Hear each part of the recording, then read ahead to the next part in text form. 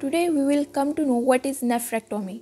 A nephrectomy is a surgical removal of a kidney performed to treat a number of diseases including kidney cancer.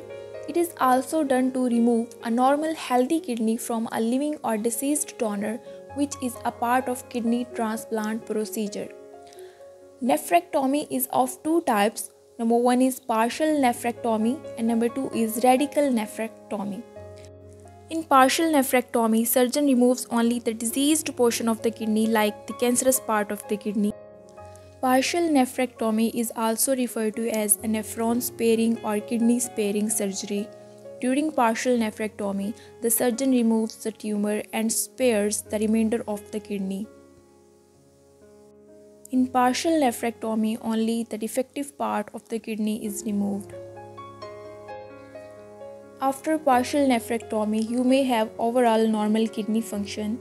To preserve normal kidney function, your doctor may recommend that you eat a healthy diet so that your kidney performs their functions normally.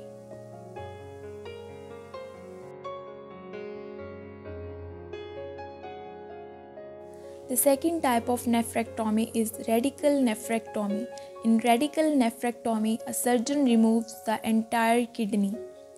In radical nephrectomy, the surgeon removes the whole kidney, the fatty tissues surrounding the kidney, and a portion of ureter, a tube that connecting the kidney to the bladder. The surgeon may remove the adrenal gland that sits atop the kidney if a tumor is close to or involve the adrenal glands.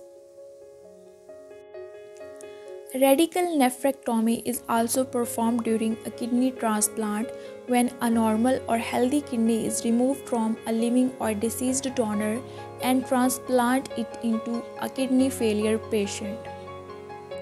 Also, if your cancer has not spread, it's all the treatment you will need. So, after the surgery, avoid all strenuous activities including heavy exercises, weight lifting, and other activities that make you breathe hard. Risks and complications of nephrectomy surgery, including infections, bleeding, post operative pneumonia, rare allergic reactions to anesthesia, and also if your remaining kidney does not function properly, it may cause death.